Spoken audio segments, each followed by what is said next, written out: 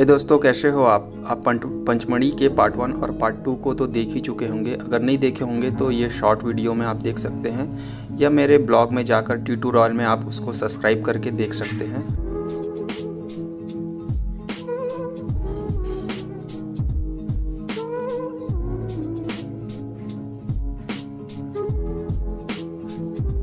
पांडव गुफा और धूपगढ़, एक ऐसी सीधी चढ़ाई वाली पहाड़ियाँ जिसको हम बाइक से राइड करते हुए चढ़ेंगे। तो चलते हैं, देरी ना करते हुए। यहाँ हमें, हमारे कुछ सब्सक्राइबर मिले हैं, जो पांडव गुफा में हम, हमसे मुलाकात हुआ।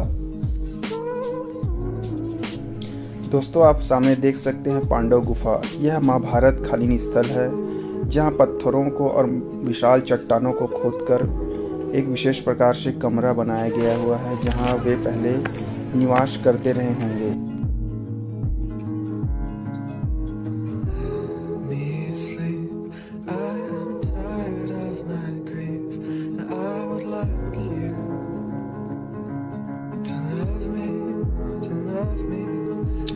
दोस्तों, पंचमढ़ी का यह तीसरा वीडियो है और हमें एहसास हो गया कि यह पंचमढ़ी प्राकृतिक रूप से और अपने विशेष प्रकार के पिकनिक स्पॉट के रूप में बहुत ही फ़ेमस है। आप यहाँ ज़रूर आइए और यहाँ का आनंद लीजिए।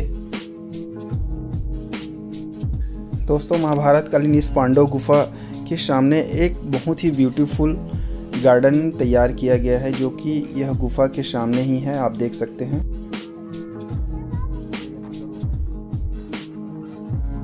पांडव अपने निवास के लिए इस प्रकार से पत्थरों को तराश कर रूम्स, कमरे बनाया करते थे। हम आपको दिखा रहे हैं इसके अंदर किस प्रकार से है ये।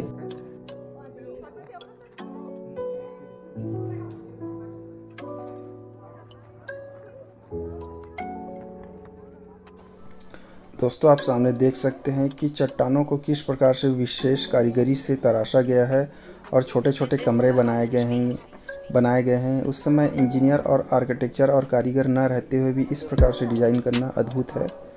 और आप सामने पार्क का बहुत ही ब्यूटीफुल व्यू देख सकते हैं। कितने अच्छे से इसको भी सजाया गया है। नाइस पार्क और हम आपको दिखाते हैं यहाँ का नज़ारा। आपको दिखाते हैं नज़ारा। यह पत्थर से बना हुआ।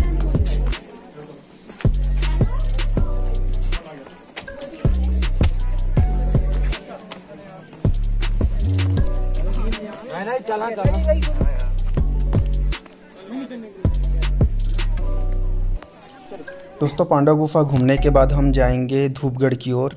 ये धूपगढ़ का आपको छोटा सा व्यू दिखा रहा हूँ। यहाँ तक जाने के लिए हमको सीधी चढ़ाई और एक लंबा सफ़र तय करना होगा, जो कि बहुत ही डेंजरस है। लो दोस्तों, हमारा सफ़र स्टार्ट हो गया। अभी सीधी चढ़ाई को हम किस प्रकार से अपने बाइक में राइड करते हुए जा रहे हैं, आप देख सकते हैं।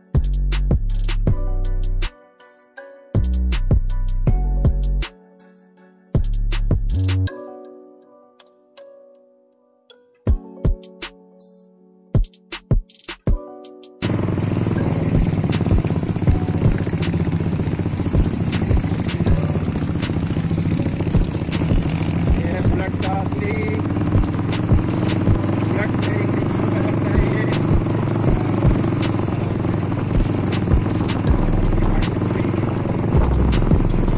आप देख सकते हैं, इतना डेंजरस है कि बाइक लोग यहाँ बाइक अपना छोड़कर ही ऊपर पैदल चले गए हैं, पर हम यहाँ कोशिश कर रहे हैं कि बाइक ऊपर चली जाए।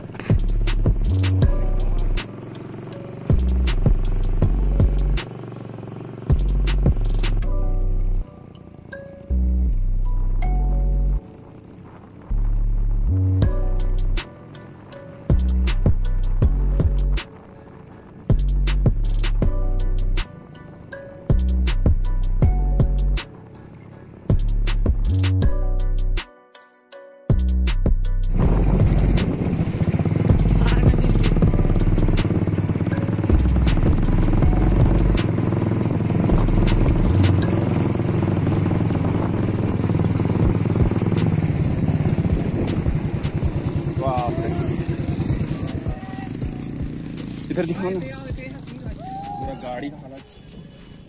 चढ़ गया भैया गाड़ी? एक नंबर यार। मानना पड़ेगा भैया। आपका ड्राइविंग सच में? ज़बरदस्त।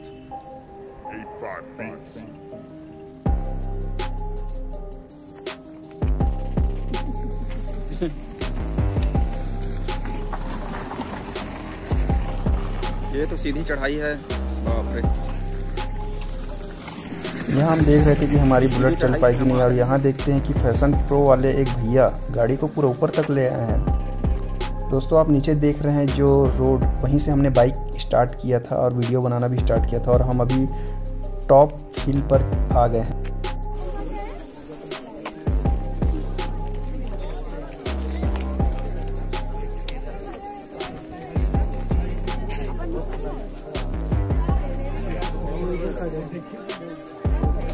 दोस्तों, अब हम पहुँच गए हैं धूपगढ़ की चोटी पर। यहाँ से हम आपको दिखा रहे हैं सनराइज वाली पॉइंट और इसके जस्ट अपोजिट साइड है सनसेट पॉइंट अभी आप देख सकते हैं सनराइज पॉइंट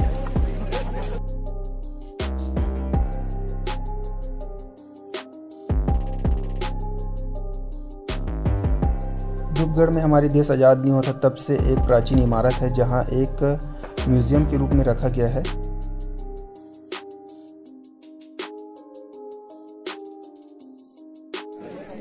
दोस्तों, सामने आप जो व्यू देख रहे हैं और ये पर्वत पर्वत श्रृंखला देख रहे हैं, वो सतपुड़ा पर्वत श्रृंखला है। और इसी की हम सबसे ऊँची चोटी पर स्थित है। इस फोटोग्राफ को देख के आपको स्पष्ट हो जाएगा कि इसको धूपगढ़ क्यों कहा जाता है। दोस्तों, आप यकीन नहीं मानोगे, हम तेरह मीटर ऊपर हैं। यह मध्य प्रदेश की और सतपुड़ा पर्वत की सबसे ऊँची चोटी है। जिसे धूपगढ़ के नाम से जाना जाता है। दोस्तों, आप जो सामने देख रहे हैं वो है सनसेट पॉइंट और आप देख सकते हैं आज एक जनवरी है और कितना भीड़ है लोगों का। उस भीड़ में और इस कोरोना काल में हम अपना सेफ्टी बरतते हुए आपको यहाँ का दृश्य दिखा रहे हैं। आपको अच्छा लगा होगा दोस्तों तो लाइक एंड सब्सक्राइब ज़रूर करिएगा। और हम निकल गए हैं अब पंचमढ़ी से छत्तीसगढ़ की ओर। अभी हम महाराष्ट्र रूट पे हैं और आज हमको दिन भर का सफ़र करना है। हम सुबह सात बजे से निकले हुए हैं और अभी दोपहर के बारह बज रहे हैं और हमको कंटिन्यू ड्राइव करना है, ऐसा हम सोचे हैं। हम पंचमढ़ी से अभी आ रहे हैं। सात बजे से निकले हुए हैं। नॉन स्टॉप ड्राइविंग किए हुए हैं। और बहुत थकान लग रहा है और हम यहाँ नागपुर के रूट पर हैं। नागपुर यहाँ से ज़्यादा दूरी पर नहीं है। और हम यहाँ संतरे का मज़ा ले रहे हैं। प्लस संतरे की ज़बरदस्त बाड़ी।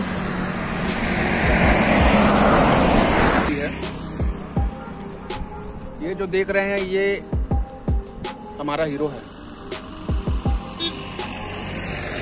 इस सफ़र में ये कहीं भी हमको धोखा नहीं दिया है। हर जगह चला है। इसके अलावा अगर कोई आगे का सफ़र आपको दिखाता हूँ दोस्तों, तब तक हम संतरे का मज़ा ले लेते हैं। थैंक यू दोस्तों, सुबह सात बजे से लेकर रात को नौ बजे तक कंटिन्यू ड्राइव करके हम पंचमढ़ी से छत्तीसगढ़ पहुँचे। हमारे लिए यह बहुत बड़ी बात है क्योंकि हम एक ही दिन में इतना लंबा सफ़र कभी नहीं किए थे। आपको कैसा लगा दोस्तों, ज़रूर बताइएगा। और वीडियो को देखने के लिए बहुत बहुत धन्यवाद।